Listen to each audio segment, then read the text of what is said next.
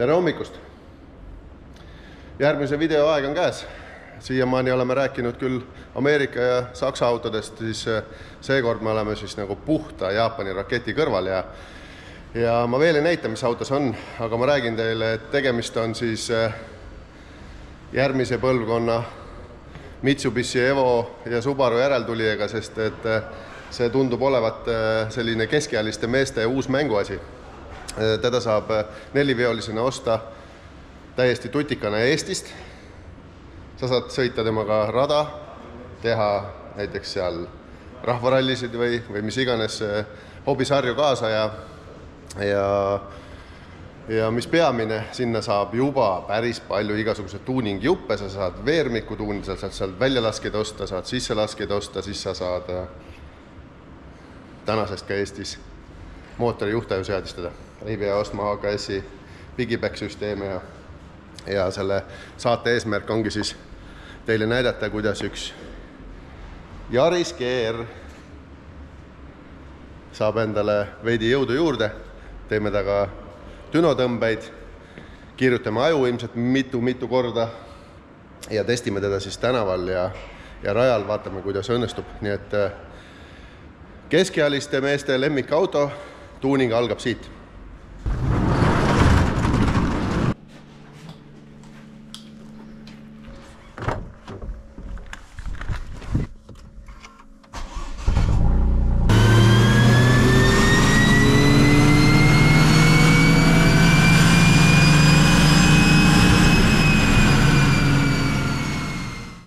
no nii, Lauri on Dünos ja, ja ma olen nüüd sinna arvuti taga seda automootori asja nüüd siin loginud või õigemini logisi vaadanud, mida Lauri mulle saadab ja, ja ja peab ütlema, et äh, saab asja. oli alguses oli mure, me tegime vist, seal on vist tehtud juba üle kuuekümne tõmbe ja ma olen teinud mitukümmend soft'i sinna ja neid hunnik logisid ja, ja, ja ma pean ütlema, et äh, lõpuks saame asjale pihta, mida see mootor tahab. ja ja kus ja mismoodi hakkab siit tulemus tulema, sest et tegelikult kui sa mootorit ei tea, see kolmesilindrilise mootori väga, mootoreid nagu väga tihti ei näe ka ja mul on kogemus ainult Can-Am-idega, nende pagidega. ja, ja sealt ma olen saanud väga-väga häid tulemusi ja, ja nüüd siis see Toyota kolmesilindriline mootor, täiesti tundmatu tehnika tegelikult, et äh, nii uus mudel ja, ja ja minu jaoks esimest korda siin majas. ja ma näitan teile, mida ma siis, mida ma siin monitoorin ja mismoodi see asi käib. siia arvutisse on siis tekkinud äh, mulle hunnik logisi ja, ja, ja, ja siis äh, faili nime järgi ma siis saan, saan neid monitoorida ja kõrvalt siis äh, valida, mida ma siis näen siit, eks ju, et ma näen siin süütenurka, ma näen load'i, ma näen kütusesegu, ma näen äh, kõiki parameetreid, äh, turborõhku. Ja selle info alusel ma siis tegelikult äh, oma muutusi teen ja, ja võtan otsuse vastu, kas, kas me liigume õiges suunas, kas see on tervislik ja kas sealt ka asja saab ja kõige tähtsam on teada saada, et siis millal on turbo maksimumpiir, millal on näiteks konkreetselt E98 kütuse maksimumpiir antud auto jaoks, sest, sest ma ei tea, mis süütenurka ta armastab. sest et tehase poolt on alati nii tehtud, et kui sul turborõhk mingil põhjusel kõrgeks läheb või keegi manipuleerib sellega, siis süütenurk keeratakse jõuga hiliseks, et see auto püsiks koos, ta ei tee eriti palju lisajõudu ja, ja ja tähtis on, et, et keegi ei paneks sotsiaalmeediasse enda pilti, et kus see mootor käis laiali, sest et see ei tee mainele head, aga, aga kui kui meie siit äh, mootori juhtajust manipuleerime ja tõstame seda turborõhku, siis me saame ka ligi süüte, süütegraafikutele, mida antud hetkel sellel autol on oh-oh-ohoo, no ütleme kolm, nelikümmend tükki, ma ei hakka neid kokku lugema, neid on väga palju ja, ja ja kui me siit vaatame, siis tulemus tuleb, aga nüüd ma lähen auto juurde ja vaatame reaalselt, kuidas see asi seal kohapeal käib ja võtame otsad kokku. no nii, jõudsin siis äh, Düno juurde ja ja nüüd me oleme siis arvuti taga vaadanud, kuidas see asi nagu teoreetiliselt välja käib, aga ma lähen nüüd sisse, vaatame siis äh, üle, mis tulemused seal olid. Ja räägime natuke autost ka. et siin me, siin me siis asume.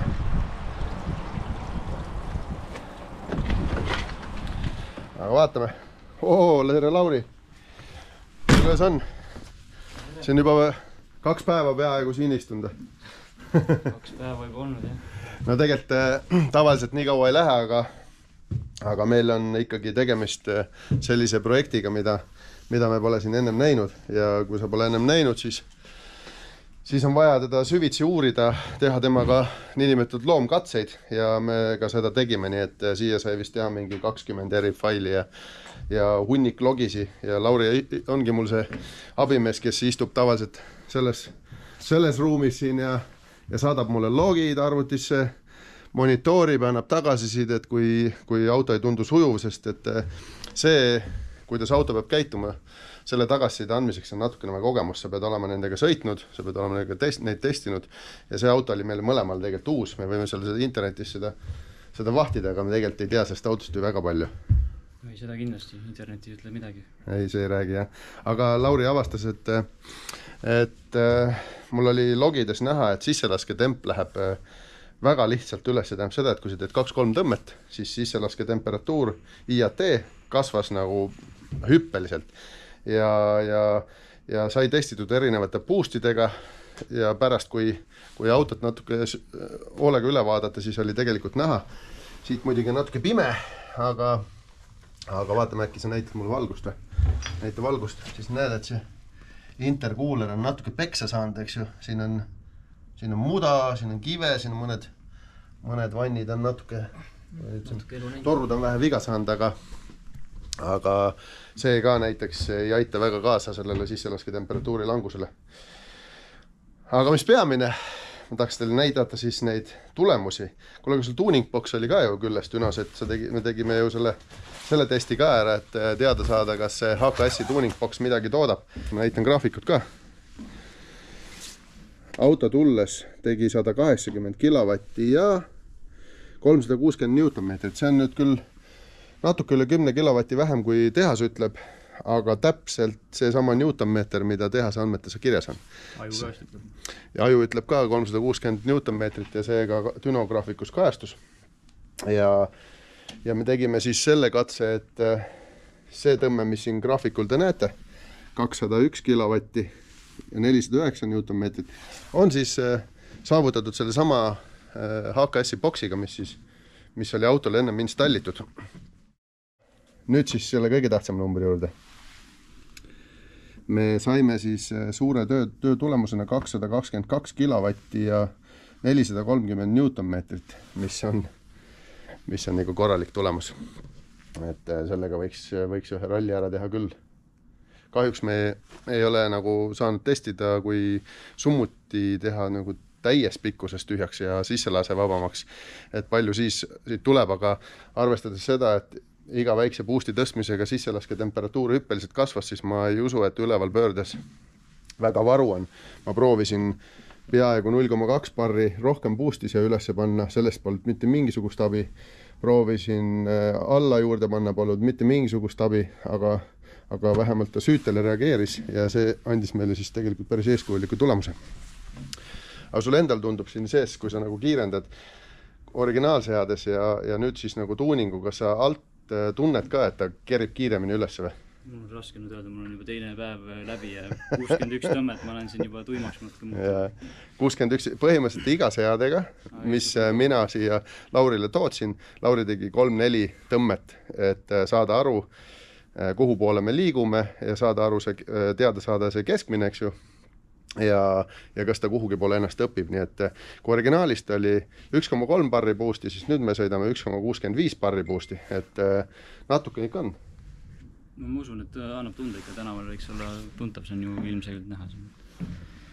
no aga mis me nüüd teeme, nüüd võtab auto maha või? või teeme, teeme, teeme, teeme ühe tõmbe, näitame siis teistele ka, kuidas see välja näeb.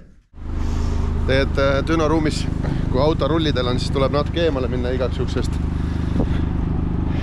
minu ajaloos on juhtunud, kuidas rehv läheb puruks ja see ei olnud väga meeldiv, et oleks seal keegi taga olnud, oleks väga palju viga saanud, aga kuulame häält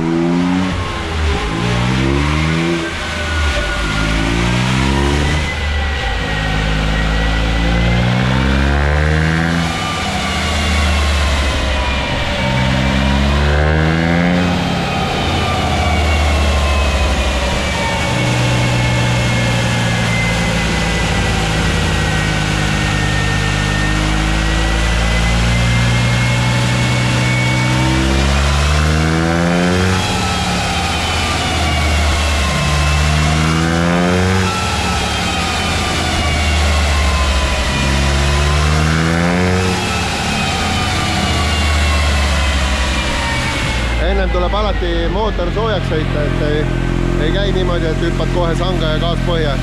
vaatame, nüüd hakkab pihta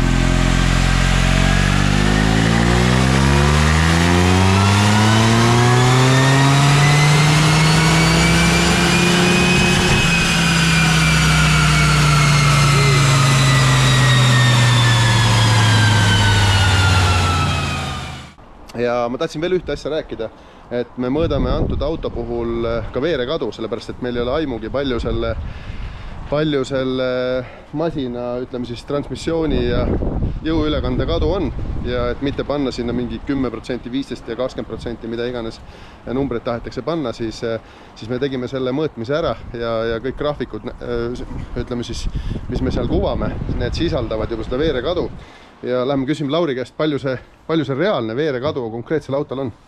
Palju sa said selle kaokse? no ütleme umbes üheksa protsenti, kümme protsenti. üheksa poole jääb. üheksa poole, jah? okei okay,, selle, see on äh, üsna tavaline, kusjuures äh, selliste pisikeste mootorite puhul ma olen ennem ka näinud kümne, viieteist protsendi vahel, aga et ta üheksa on, see on ju tegelikult päris väike ju ah kuidas on äh, süütenurk ja kütusesegu üleval pöördes näiteks kuue tuhande pöörde juures ja see näitab mulle ära, mis on siis, mis on tema tervis. noh, üksteist kraadi. nii ja nüüd lähed ülesse, täitsa üles maksimumi, seitsme tonni peale. on meil seitseteist kraadi tuleb ära või? tõmbe ajal oli küll näha jah, näha seitseteist. no väga hea, siis on kõik korras, see tähendab minu jaoks seda, et see, mida mina olen tabelisse kirjutanud, on seal olemas, ei mingisugust äh, detonatsiooni või knoki korrektsiooni ja, ja isegi kui mootorile sai teha neli-viis tõmmet järjest, oli see, püsis see, püsis see nurk suht stabiilne, välja arvatud see, et äh, sisselasketembi tõustes ta ikka mõne kraadi maha võttis. aga kuule, aga Lauri, nüüd võta auto maha ja siis väike tänavadest, sest et ega siis Düno meile kogutada ei näita. peale Düno tuleb alati teha tuleb üks sõidu, sõidutest ja siis mina lähen kindlasti arvuti taha ja hakkan äh, logisi analüüsima, kuidas see välja näeb, kütusesegu pealekäiguvahetust ja, ja peale niisuguseid suuremaid koormusi tänaval. ära siis, äh, ära siis meie Tartu maanteel kahesajaga sõidamine selleks Meksikosse. üritame siis piirkiiruse normides salvestada mingi informatsiooni Villeri jaoks ülevaatamiseks. ilma, et me kedagi häiriks samal ajal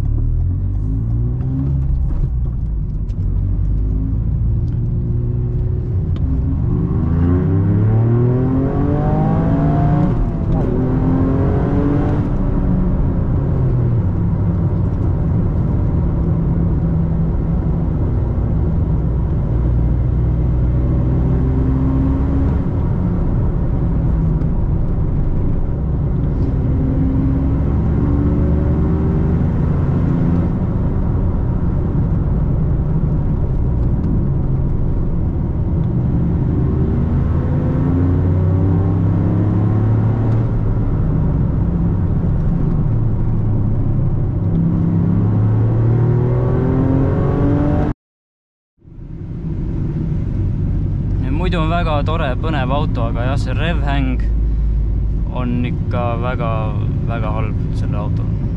Civic Type R-id samamoodi FK2 ja kannatavad sama probleemi all. loodetavasti üks päev leiame lahenduse ka sellele, aga see ei ole kuigi lihtsaks tehtud.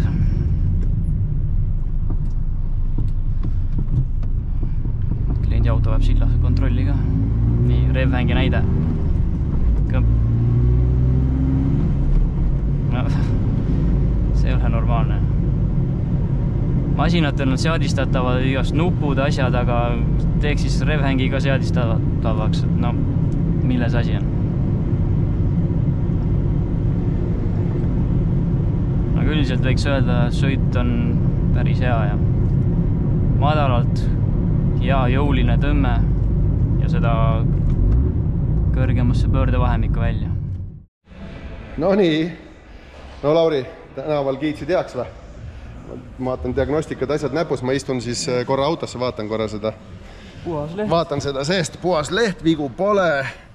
kõik sõitis ilusti, Meksiko test õnnestus.